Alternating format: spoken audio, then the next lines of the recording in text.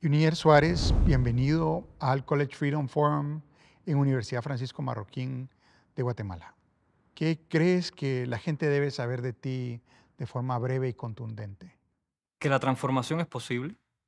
Yo creo firmemente que, en mi experiencia, Ronald, el dolor, la violencia, la rabia, la venganza, no conduce a nada positivo. No se puede construir nada hermoso desde allí. Yo durante muchos años viví allí y creo que la búsqueda tiene que ser desde el amor, desde la concordia y desde la justicia. Yo creo que eso es lo que, en mi experiencia, es lo que me digo todos los días de mi vida. ¿Qué te inspiró a no solo exponer la represión y violencia en tu país, sino a usar el arte como el medio para hacerlo? Fue la única herramienta que encontré. No tenía más. Una vez alguien me dijo que, que solo desde sus propias catacumbas puede un hombre construirse una vida nueva. Yo toqué fondo. Y hasta que no toqué fondo y no encontré de manera probablemente fortuita el teatro, no encontré dónde y desde dónde luchar contra el, el, totalitarismo, contra la violencia de un sistema. Fue allí, fue de manera probablemente casual, para quien cree en las casualidades, fue de manera casual. Yo no creo que sean las, no creo en las casualidades, creo que, que todo pasa como consecuencia de algo. Y, y fue allí donde yo hice mi transformación, fue allí donde encontré las herramientas para salvarme y salvar probablemente a mi nación también, ¿no? En, en, la medida de lo que yo pueda aportar a la lucha por la libertad de mi nación. ¿Cómo fue eso? Cuéntame un poco más.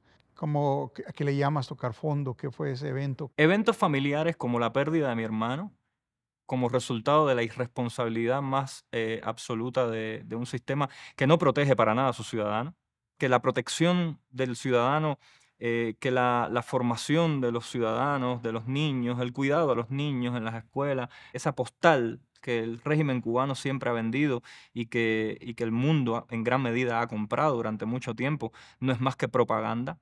Ver esa criminalidad desde dentro eh, muchas veces tiene la cara más fea. A mí me tocó verla desde muy joven, vivir como la desatención, la negligencia médica, la inoperancia, la irresponsabilidad, ¿no? De, no proteger a nadie dentro de la isla, dentro de ese margen donde nadie veía, ¿no? Donde la cortina estaba corrida y nadie podía ver lo que sucedía adentro.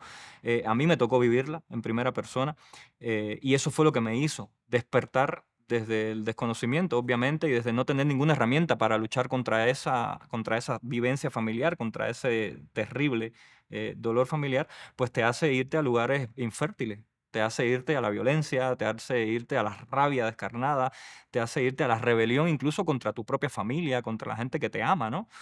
Entonces, estar perdido eh, en esa rebelión, en ese, en ese no querer pertenecer, en, en, ser un rebelde sin causa, ¿no? Me hizo tocar fondo, me hizo tocar fondo a, a, a, puntos muy delicados de mi vida. Es en el momento en el que yo encuentro el arte, en el momento en el que yo eh, decido estudiar eh, actuación, interpretación y me voy a una academia y en esa academia empiezo a descubrir lo que era eh, el arte del teatro, la representación y cómo desde el teatro en sí se podía, ¿no? denunciar y era como un amplificador de todo ese dolor que yo había sentido, pero de una manera pulcra y limpia en el cual la gente lo entendiera y crear vínculos entre la gente que como yo también estaba sufriendo, ¿no? Y que iba todas las noches al teatro y se sentaba a ver y a escuchar, pues allí, allí ocurrió la transformación. Ahí es donde yo digo, esto no puede ser hecho desde la violencia, esto no puede, esta cosa tan bella, tan hermosa, no puede ser hecha desde el odio, ¿no?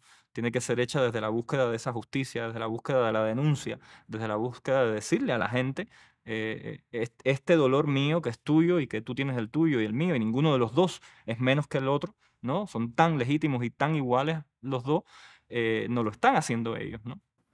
Cuéntame un poco de tu viaje de ahí a Cuba Decide yo empiezo a, a buscar dónde ser útil a la libertad de mi nación. Y en esa búsqueda miré pues, desde partidos de la oposición, grupos opositores, eh, me recorrí los programas de, proyectos de gobierno de una Cuba futura, de muchos grupos de la oposición cubana en general. Sentía una necesidad de, de ofrecer cosas que yo creía que se podían hacer, pero me faltaba, me faltaba un lugar desde donde luchar desde dónde devolverle a mi nación la libertad, los derechos, la participación ciudadana, digamos, de, de poder hacer algo realmente como individuos, como ciudadanos en mi país, y no encontraba ese sitio. Hasta que no encuentro la plataforma, la, la- la iniciativa Ciudadana Cuba Decide, y descubro que es una iniciativa que no es partidista, que no estamos hablando de colores políticos, sino que estamos hablando primero de derechos, de que nadie más vuelva a decidir por nosotros los cubanos, ¿no? De que los cubanos tengamos la oportunidad al menos de participar en la vida política y decidir y decir hacia dónde queremos ir, ¿no? ¿Qué país, qué Cuba queremos reconstruir? ¿Dónde encuentro en Cuba Decide la herramienta democrática, ¿no? que propone la plataforma para realizar ese cambio de sistema en Cuba? Donde encuentro que eh, hay gente de todos sitios, cubanos de, muchas, de muchos colores políticos, pero que todos tienen el mismo el mismo norte, el mismo objetivo. El sistema es el problema.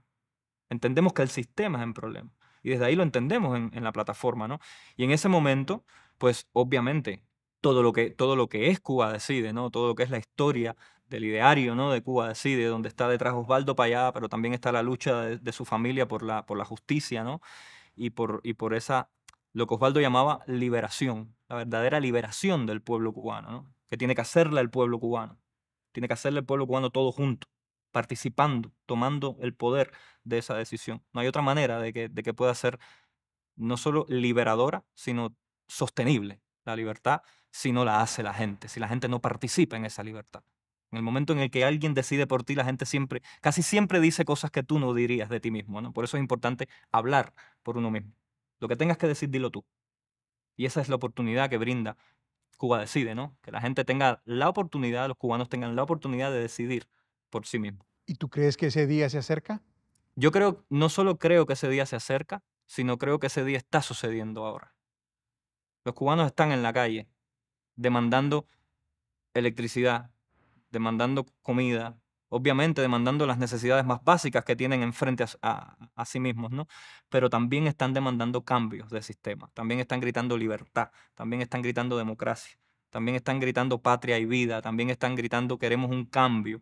Los cubanos saben lo que, lo que, lo que quieren, los cubanos tienen las herramientas, los cubanos tienen organización, en muchas organizaciones de la sociedad civil que están trabajando en sinergias conjuntas, ¿no? Están articulando acciones, hay una unidad de propósito, hay un propósito que es derrocar el sistema, cambiar hacia la libertad y la democracia, y la comunidad internacional debería estar escuchando eso también, ¿no?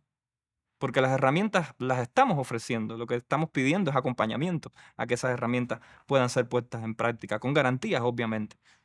Nosotros no estamos pidiéndole, eh, eh, obviamente, ni permiso al régimen para realizar cambios, ni contamos tampoco con el régimen para realizar cambios. Es una responsabilidad absoluta del pueblo cubano, de la sociedad civil independiente cubana, porque sabemos que los dictadores no se van a someter a la voluntad soberana, no quieren hacerlo. Y ahí es donde entra la comunidad internacional. Ahí es donde la comunidad internacional debería estar pronunciándose, aislando a la dictadura, presionando a la dictadura que se someta a la voluntad de los cubanos que están en las calles, insisto, pidiendo libertad, democracia, cambio. Pues muchas gracias, te agradezco, Junior. Y buena suerte en gracias. esa lucha tan Gracias necesaria. Gracias a ustedes.